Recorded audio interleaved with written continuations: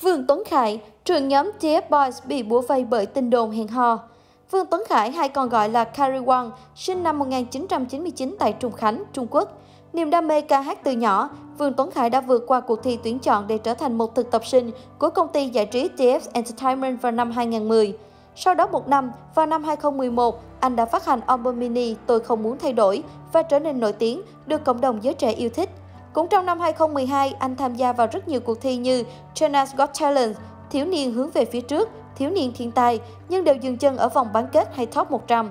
Tuy vậy, anh vẫn luôn nỗ lực không ngừng phấn đấu và hoàn thiện bản thân về mọi phương diện. Vào tháng 8 năm 2013, anh cùng với hai thành viên khác, Vương Nguyên và Dịch Dương Thiên Tỷ, chọn làm thành viên của nhóm nhạc TF Boy do công ty Thời đại Phong Tuấn Văn hóa Nghệ thuật Bắc Kinh thành lập. Vương Tuấn Khải đảm nhiệm vai trò trưởng nhóm, hát chính, rapper chính và là gương mặt đại diện của nhóm. Hiện ba chàng trai của TS Boy đã chọn cho mình những phương hướng phát triển khác.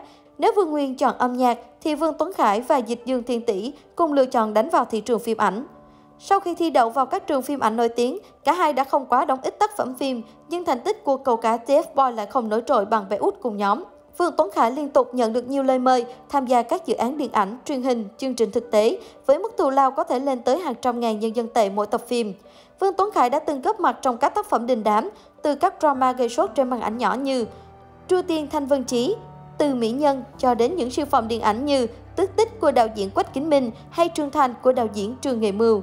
Bên cạnh đó, anh được đánh giá là nghệ sĩ có tài năng và tầm ảnh hưởng nhất trong cộng đồng giới trẻ Trung Quốc và là người ít tuổi nhất của Trung Quốc được ghi vào kỷ lục Guinness Thế giới vào năm 2015. Ngoài ra, nhờ vào tài năng của mình, vào năm 2016, Vương Tuấn Khải đã lọt vào danh sách những người giàu nhất Trung Quốc sinh sau 1990, thế hệ 9X. Nam nghệ sĩ trẻ sở hữu nguồn tài sản riêng trị giá 248 triệu nhân dân tệ, 36 triệu USD. Vừa qua, có thông tin cho biết Vương Tuấn Khải sẽ hợp tác với nam diễn viên Trương Dịch trong bộ phim truyền hình Trọng sinh chi môn do Yoku sản xuất. Thời gian khai máy dự kiến rơi vào tháng 3 năm 2021. Trọng sinh chi môn kể về đội trưởng trinh sát cùng với một cậu sinh viên đại học tài năng. Cả hai tình cờ gặp gỡ để rồi trở thành cộng sự thân thiết của nhau và cùng giải quyết nhiều sự kiện trong phim. Được biết, Vương Tuấn Khải sẽ vào vai sinh viên tài năng. Tin đồn hẹn hò bủa vây Cuối tháng 1 vừa qua, cái tên Vương Tuấn Khải lại tăng vọt độ hot, tìm kiếm trên mạng xã hội bởi một vụ thị phi mới cho rằng anh có quan hệ bất chính với một nữ diễn viên. Studio Vương Tuấn Khải hôm 27 tháng 1 đăng lên mạng thông báo từ luật sư của hàng chủ quản TF Boys nêu rõ. Có những netizen đã bị đặt không thiện chí và lan truyền trên mạng thông tin tiêu cực về cả hãng chủ quản và cá nhân ca sĩ Vương Tuấn Khải. Vương Tuấn Khải đã bác bỏ tin đồn ác ý đó và luật sư cũng khẳng định sẽ bảo vệ quyền lợi hợp pháp của ca sĩ cùng các nhân viên công ty chủ quản của TF Boys. Theo các nhân viên của hàng chủ quản TF Boys, hồi tháng 6 năm 2020, Vương Tuấn Khải được giới thiệu với một người phụ nữ họ Chu, có danh thiếp cho thấy đó là giám đốc tiếp thị của một công ty trách nhiệm hữu hạn công nghệ dữ liệu South Thượng Hải. Phía cô Du chia sẻ, có thể đàm phán hợp tác. Do không đáp ứng được các yêu cầu đầu tư, nên cô Du bị đại diện của Vương Tuấn Khải từ chối. Điều này dẫn tới vụ việc kể từ đầu tháng 1 năm nay, cô Du liên tục quấy rối bằng cách gửi tin nhắn tới các nhân viên của hãng và Vương Tuấn Khải.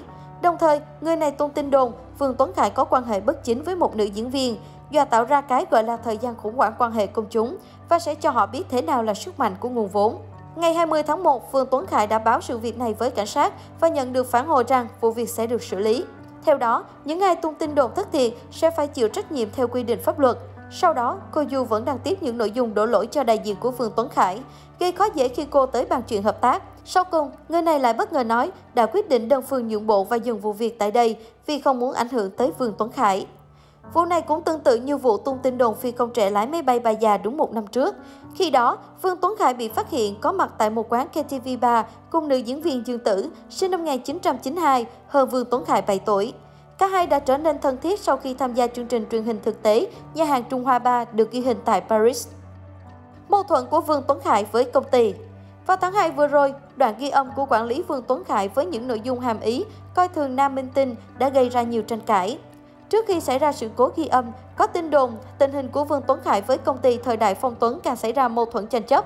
Các fan Vương Tuấn Khải nhiều lần bất bình lên tiếng công ty từ lâu đã không quảng bá những công việc của anh trên trang chính thức GF Boys ở Weibo.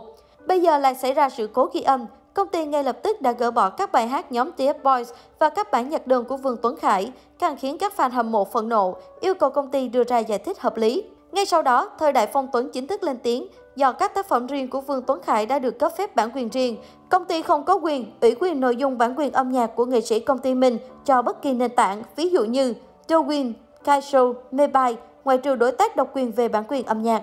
Tuy nhiên, đối mặt với lời giải thích của công ty, người hâm mộ của chàng trai sinh năm 1999 vẫn tỏ ra không hài lòng. Mặc dù bài hát nhóm TF Boys và bài hát đơn của Vương Tuấn Khải bị gỡ bỏ, nhưng còn đĩa đơn của hai thành viên Vương Nguyên và Dịch Dương Thiên Tỷ vẫn ở trên các trang âm nhạc khác. Vì tình huống này, không chỉ có sự nghiệp của trưởng nhóm TF Boys đã bị ảnh hưởng, mà rất nhiều người cũng bị liên lụy. Chính vì cách xử lý không rõ ràng của công ty mà fan hâm mộ của nam minh tinh đã kéo hai thành viên TF Boys mắng chửi, chỉ trích công ty đối xử bất công với thần tượng gặp áp lực lớn sau khi bị quản lý tiết lộ không có chủ kiến. Trạng thái của Vương Tuấn Khải trong khoảng thời gian gần đây đã làm cho không ít người hâm mộ phải lo lắng. Fan cho rằng ánh mắt của thần tượng không còn tỏa sáng, mà thay vào đó là sự mệt mỏi. Phần lớn người hâm mộ cho rằng áp lực của Vương Tuấn Khải đang quá lớn hoặc anh chàng gặp phải chuyện phiền toái trong công việc. Vào ngày hôm đó, Vương Tuấn Khải không đợi nón khi đến sân bay nên người hâm mộ có thể nhìn thấy phần rẽ ngôi tóc của anh một cách dễ dàng. Có người cho rằng tóc của nam thần tượng không được dày như trước và fan khá xót xa khi nhìn thấy cảnh tượng này. Thời gian vừa qua, trưởng nhóm của TF Boys khá bận rộn, không chỉ xử lý công việc của mình mà còn phải đối mặt với sự kiện người phụ nữ họ Du.